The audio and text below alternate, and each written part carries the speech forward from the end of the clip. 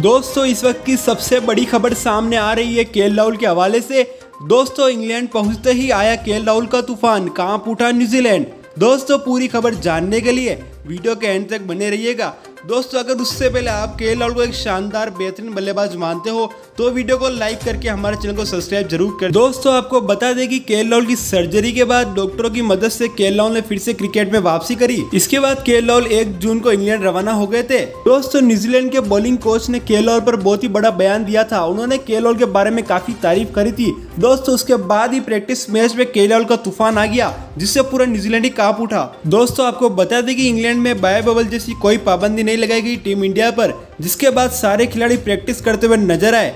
दोस्तों, इसी बीच टीम इंडिया के स्टार बल्लेबाज के राहुल भी प्रैक्टिस करने मैदान पर आए। और दोस्तों, उन्होंने ऐसी प्रैक्टिस करी कि गेंदबाजों के परखच्चे ही उड़ा दिए। दोस्तों, आपको बता दें कि मोहम्मद सिराज ने के राहुल पर गेंदे फेंकी और के राहुल ने हर गेंद पर चौके छक्के की बारिश कर दी जिसे देखकर विराट कोहली और रवि शास्त्री भी हैरान हो गए। दोस्तों के राहुल के लिए छक्के चौके मारना आसान नहीं था, क्योंकि दोस्तों, वो अपेंडिक्स ऑपरेशन की सर्जरी के बाद ही मैदान पर वापस आए थे और दोस्तों, उन्होंने आधी चौके छक्के मारकर सभी खिलाड़ियों को हैरान कर दिया। दोस्तों के राहुल की इस खतरनाक प्रैक्टिस के बाद के राहुल के फैंस और टीम इंडिया के खिलाड़ी काफ़ी खुश हो गए।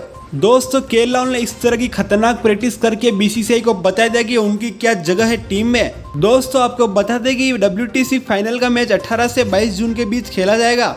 ये मैच साउथ साउथम्पटन में खेला जाएगा, जहाँ पे सारे खिलाड़ी अभी प्रैक्टिस करते हुए नज़र आ रहे हैं। दोस्तों, केलोल की इस खतरनाक प्रैक्टिस के बाद केलोल का डब्ल्यू के फाइनल मैचों में खेलना तय है। दोस्तों, आप बताइए कि रोहित शर्मा और के को डब्ल्यू के फाइनल मैचों में ओपनिंग करनी चाहिए या किसी और बल्लेबाज को ओपनिंग करनी चाहिए? दोस्तों, ये सभी जानकारी हमें कमेंट बॉक्स में बताइए। दोस्तों, हम आगे भी आपको टीम इंडिया से जुड़ी और के से जुड़ी हर छोटी बड़ी अपडेट आपको देते रहेंगे। दोस्तों, ये सभी खबर जानने के लिए आप हमारे चैनल भेजी क्रिकेट को सब्सक्राइब कर दीजिए। दोस्तों, मिलते हैं नेक्स्ट वीडियो में।